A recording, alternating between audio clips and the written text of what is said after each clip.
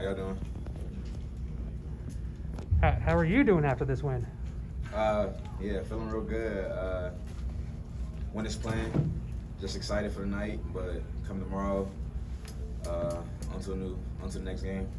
You guys really keyed in on uh, you know getting pressure on, on Johnson. You know, uh, was was that one of the main goals? Uh, one, part of your game plan?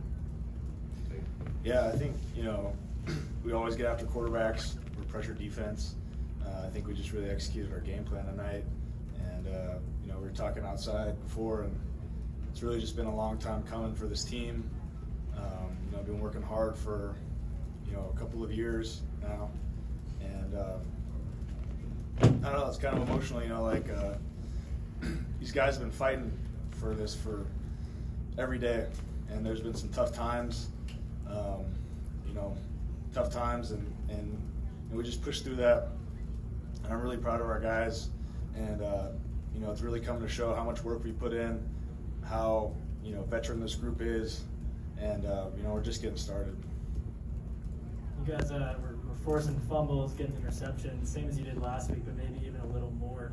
Did you kind of feed off of the, the lessons from week zero? Do you think it's you had an advantage coming into that into today, knowing that you had already played a game and they hadn't? Yes, uh, coming from coming off of last week, it gave us a lot of confidence just coming out in a big win like that, and then heading to a game like this.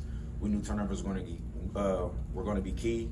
Uh, playing against playing against a ranked opponent, and then uh, a team everybody thought we should have got blown out to. So yes, uh, turnovers, getting pressure, all that was big in the game plan. And then this is an LSU team that over the past couple years has been kind of an offensive juggernaut, and then uh, until that, that last touchdown in, the last couple minutes, you only allowed 20 points for most of the game. Uh, how much pride do you take in that? I think we just executed the game plan really well. Honestly, we had uh, a lot of film study throughout the week. Um, guys were very locked in, and like I say, you know, I keep saying over and over again, but this is a veteran group, so they understand how to uh, prepare for a game. Uh, they've done it time and time again, and I think that just goes to show, you know, what we did out there today was a lot of preparation, uh, you know, through a lot of years, even going in before this week, and um, you know, we're able to just execute that this week. You can tell that this win means a lot for you. Is, were, there, were there times in the last couple of years where it was kind of tough to, I don't know, buy into the fact that this was, was even possible? Uh, I'm gonna say no. Even even in the past years where we started off on one and we had uh, Oklahoma or somebody's second game, we always believed in ourselves. Uh, obviously, we didn't finish doing those games, but this year it's just different. We worked harder. Uh, coming off of last year, we knew that we knew that we just have to finish. 15 points last year, and then we just we just weren't finishing games. So the biggest thing, the biggest thing we were focused on this year is just finishing games, playing hard, playing fast. Uh, 60,000 people in the road in the Rose Bowl. I don't know if you guys are able to hear that out there. Did you guys feed off that while you guys were out there? Just tell me about that crowd and, and what they did for you guys.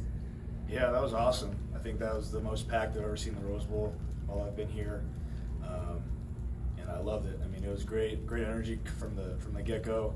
Um, the defense was on point. You know, really um, uh, thriving off of the the home crowd. Um, you know, there's a lot of LSU fans here too, and I think uh, that was really fun to be a part of too. Having a team uh, that travels as big as they did, um, it was just fun to keep them quiet today.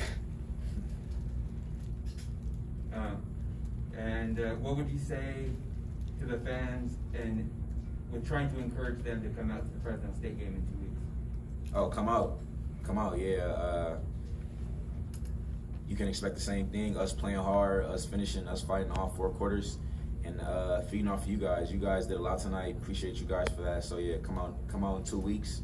Uh, we'd love to see you out there. You guys grab any confetti when it came down on the field? I did do a little uh, snow angel with Q Lake, so that was fun. I didn't realize they were gonna have confetti after the game, but that was a fun surprise. Yeah, that surprised me. You guys are both local guys. What's it like to help this your hometown program kind of rise up?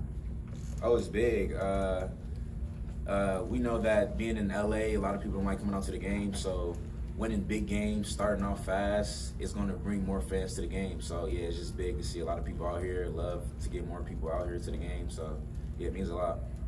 Yeah, like Blake said, Blake said, you know, LA is a tough crowd if you're not playing well. Uh, but luckily, we're playing pretty good now, and uh, you know, we've got a lot of fans on our side now. And it's fun to be able to pack the Rose Bowl. The Rose Bowl was meant to be played in front of the you know the amount of fans that we had tonight, um, and it's just it's awesome to have that. I'm so thankful for everybody who's coming out.